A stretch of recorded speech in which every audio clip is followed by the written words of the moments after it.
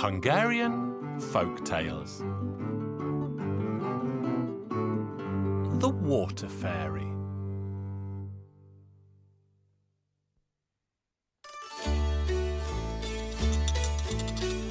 Once upon a time, in a land far, far away, there lived a miller, and the miller had a wife. They had a fine big mill, and they earned their keep and passed their days.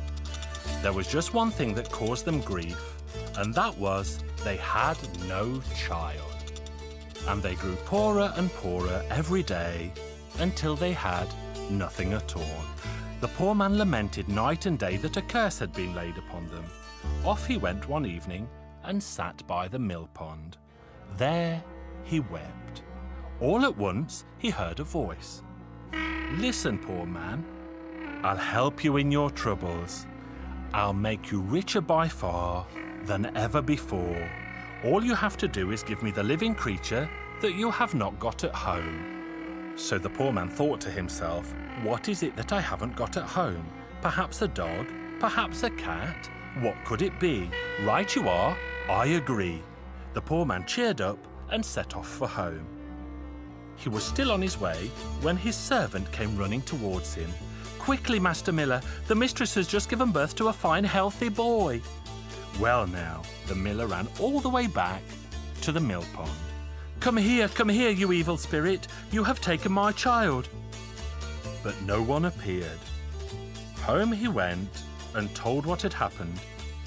They threw their arms around each other and wept and wept. What was going to become of their child? When would that voice take him away? Raise the boy as the light of their lives. They never ever let him near the mill pond. And when he grew older, they told him that he was not to go there because the water fairy would carry him away. And the boy never went there. He avoided the place altogether. Now they became wealthier than anyone in the village before or since. Where they laid down a florin, the next day there were two. Time and tide went by, and they sent their son to a master woodman so that he would be a forester. So taken was the master with the lad, so quick and clever he was, that the master gave him his own daughter in marriage. The young man went all through the forest hunting. One day, he saw a fine stag. He aimed at the stag, but the stag vanished, clean out of sight. Off he went again on the following day, and once again the stag was enticing the young man, and so it went on for three or four days. His wife spoke to him. Where is it you go every day? Neither eating or drinking, only concerned for your forest. But don't go near the mill pond, just so that no trouble will befall you. I never go that way, my dear. I only go hunting in the forest. Once again he set off, tracked the stag, and brought him down. He thought of skinning it, but in skinning it, he got covered in blood, so he decided to go to the river and wash himself. There he set down his cap and his satchel. But once he put his two hands into the water, two mighty arms rose out of the water, fastened themselves around his neck, and dragged him in and under. His good wife was waiting for him at home. She ran to the forest to the mill pond, and there she saw his cap and his satchel. Dear God in heaven, what my father in law warned about has happened. Up and down the edge of the waters she raced. Give me back my good husband, water fairy. But the water was silent. She ran and ran until tiredness overcame her and she lay down and fell asleep. In her dream, she saw, not far away, a shack in which there lived an old woman who knew many, many secrets.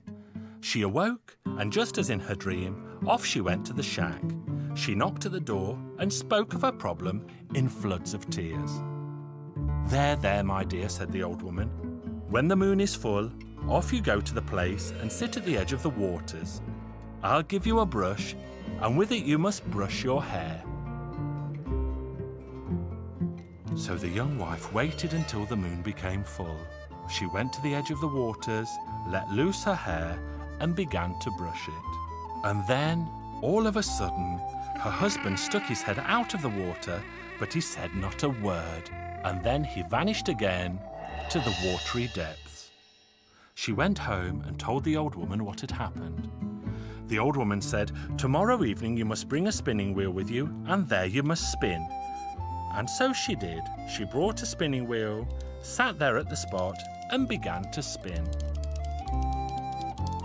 And when she span, once again the water frothed, and her husband appeared up to his waist. But again they were not able to exchange a word between themselves. Off you go, dear girl. This is the third night. On this flute you should play a sweet, sad tune. Then you'll see what happens. And so it was. The young wife sat there on the same spot and played. At first the water started to froth, and in she jumped and embraced her husband. But then such a storm blew up that her husband was carried off to one shore and the wife to the other. They were thrown so far apart that she stayed on one and he stayed on the other. Then the man took work as a swineherd and the woman as a cook. The swineherd brought the pigs out to feed every day, and the woman brought food at midday to her master in the meadows. When she brought the food to the master, she saw that there was a swineherd off in the distance.